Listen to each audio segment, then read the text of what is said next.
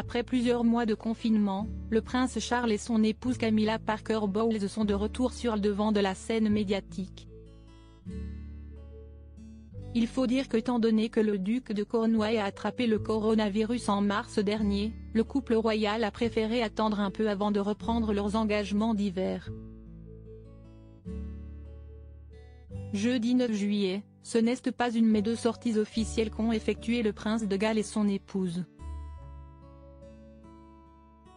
Dans un premier temps, le duc et la duchesse de Cornouailles se sont rendus au centre de distribution Asda à Bristol, avant de visiter l'usine de chemises Turnbull à Serre à Gloucester, qui a fabriqué des équipements pour le personnel soignant britannique du pays.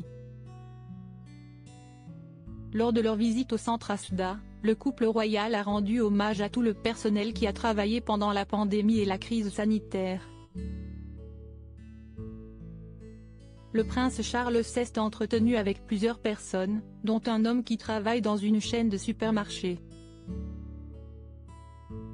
Seulement pendant sa conversation avec le duc de 71 ans, l'employé s'est évanoui.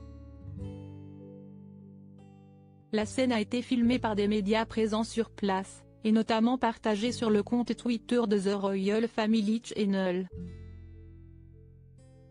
Comme on peut le voir sur la vidéo, L'individu commence à tituber, puis soudainement tombe par terre.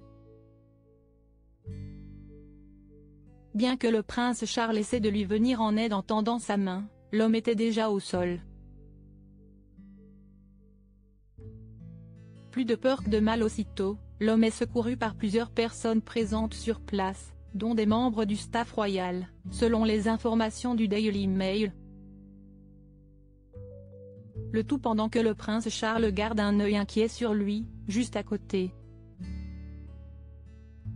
Après quelques secondes, l'homme a repris connaissance, puis a pu se relever grâce à l'aide des personnes autour de lui.